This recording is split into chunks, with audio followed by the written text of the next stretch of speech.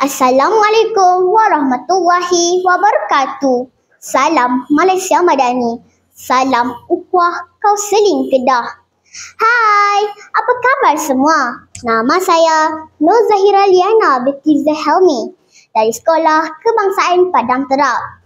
Hari ini, saya akan bercerita mengenai kejayaan pilihan saya iaitu juruterbang.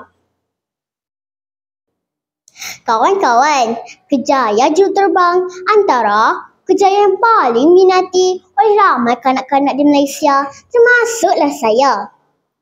Ia juga merupakan kejayaan yang berkait rapat dengan sains, teknologi, kejuruteraan dan matematik. Siapakah juruterbang?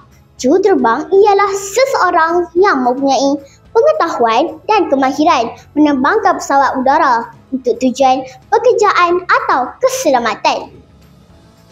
Juruterbang yang terlatih mampu menerbangkan pesawat penumpang dan pesawat kargo tanpa mengira sama ada perjalanan itu jauh atau dekat. Kejayaan ini memerlukan seseorang itu berdepan dengan cabaran dan tidak gentar memandu pesawat di awan biru. Juruterbang terlatih mendapat latihan khas di pusat latihan penerbangan sama ada di dalam atau luar negara. Antaranya ialah Asia Pacific Flight Training, Akademi Penerbangan Malaysia, HM Aerospace, Universiti Tun Hussein I Malaysia, Temu Duga bersama MAS atau AISIA dan Tentera Udara Diraja Malaysia. Selepas mendapat lesen, juruterbang berpeluang memandu pelbagai jenis pesawat seperti Airbus dan Boeing. Tugas juruterbang bermula selewatnya satu jam sebelum penerbangan. Mereka akan melaporkan diri dan menerima taklimat tentang penerbangan yang bakal dilakukan. Sebelum penerbangan, juruterbang akan menyimak pilihan penerbangan seperti keadaan cuaca, suhu, kelajuan angin dan berat pesawat semasa berlepas. Keperluan bahan api, kelengkapan dan peralatan elektronik pesawat juga akan diperiksa. Semasa dalam penerbangan pula, juruterbang akan buat pemeriksaan rutin terhadap semua sistem yang beroperasi, menerima serta melaksanakan arahan daripada pengawalan lintas udara dari mula sehingga akhir penerbangan. Keadaan yang paling bercabar ialah semasa berlepas, pendakian, penurunan dan pendaratan yang memerlukan penumpang penuh setiap jam terbang agar tidak berlaku sebarang kejadian yang tidak diingini.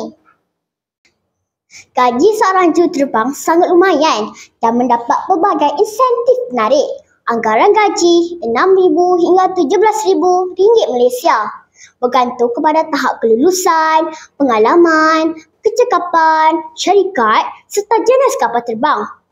Selain itu, mereka berpeluang melawat pelbagai negara lain seluruh dunia.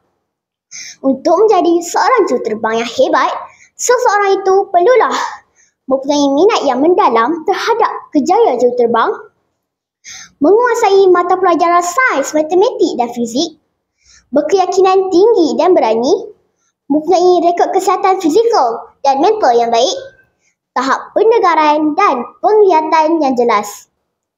Mengapakah kejayaan ini menjadi pilihan saya?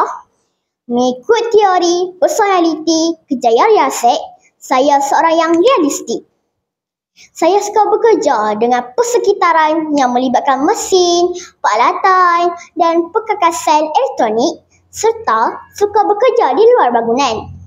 Ini kerana kejayaan juruterbang memerlukan saya mahir dengan peralatan elektronik dan teknikal di dalam pesawat. Juruterbang mempunyai pakaian khas yang dipakai ketika bekerja. Pakaian seorang juruterbang berbeza sama ada penerbangan awam atau tentera. Seorang juruterbang pesawat awam akan berpakaian seperti saya iaitu berkemeja putih, topi, tali leher, kot dan kasut bertutup.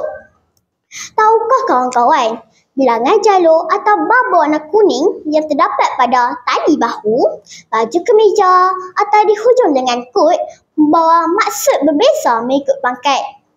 Kadet juruterbang yang baru lulus Akademi Penerbangan terdapat satu bar pada bahunya. Pegawai kedua yang telah berjaya membuat lebih 150 jam penerbangan mempunyai dua tanda bar pada bahunya. Pegawai pertama atau FO iaitu pembantu juruterbang memiliki tiga garis di dalam kokpit beliau akan berada di sebelah kanan pesawat. Akhir sekali ialah kapten yang mengertai penerbangan pesawat mempunyai empat jalur bar berwarna emas pada bahunya. Ketika bertugas, kapten duduk di sebelah kiri di ruangan kokpit pesawat. Kapten merupakan pemimpin tertinggi dalam pesawat dan bertanggungjawab dengan keselamatan sepanjang penerbangan. Kawan-kawan semua, ikon saya dalam bidang penerbangan ini ialah Kapten Pearly Wendy Mark. Wanita hebat ini merupakan antara juruterbang wanita terawal di syarikat penerbangan Malaysia.